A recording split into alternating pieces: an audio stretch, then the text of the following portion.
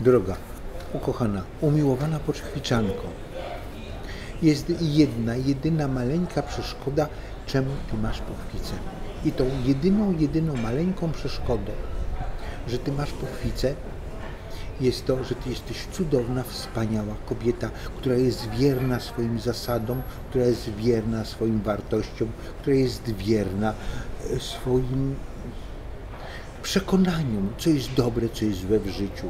Gdybyś ty, droga, kochana, umiłowana pochwiczanko, wpadła na taki szaleńczy pomysł, że mogą być inne zasady, inne, po prostu inne zasady, nie przeciwne do Twoich, tylko inne, którymi można się kierować w życiu, to Twoja pochwica by po prostu wyparowała jak kamfora, a może nawet szybciej.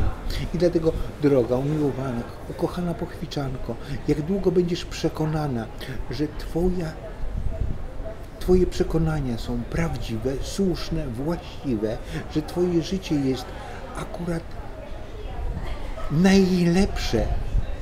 I to, co robisz, jest najlepsze z możliwych, z możliwych rzeczy, tak długo będziesz walczyła, będziesz się zmagała ze swoją dolegliwością. Jeżeli po prostu zrezygnujesz ze swoich stalowych, betonowych, żelaznych przekonań i podejdziesz do całego problemu na luzie, to ten problem przestanie istnieć bardzo szybko.